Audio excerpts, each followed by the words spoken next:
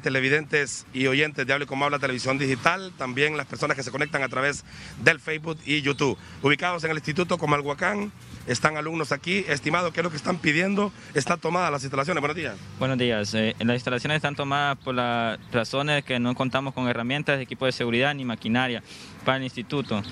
Eh, a peticiones estamos pidiendo la construcción y acondicionamiento del taller de mecánica automotriz, reparación y mantenimiento de las maquinarias de los talleres en uso, pizarras, escritorios, sillas para los docentes, para ARA en las aulas, reubicación del punto de taxi a las afueras del instituto, reconstrucción de las áreas de descanso como bancas y mesa.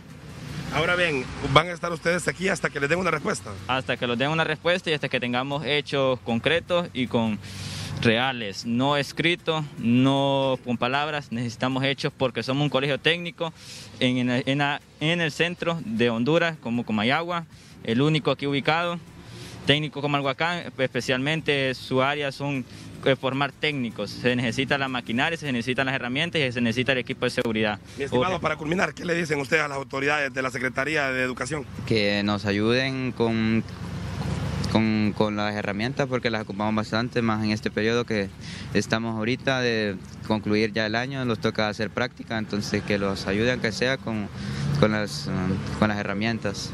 Bueno, muchísimas gracias. Estaremos al pendiente dándole seguimiento a todo lo que ocurra en esta toma por parte de los alumnos en el Instituto Comalhuacán. Aprovecho este contacto, compañeros, para mencionarles que hace unos instantes el benemérito cuerpo de bomberos ha trasladado al Hospital Santa Teresa a una persona. Y es que en la colonia Piera Bonita Sur, en una de las calles principales, dos personas, creo que son enfermos alcohólicos, se, bueno, se pelearon con machete en este lugar resultando una persona lesionada.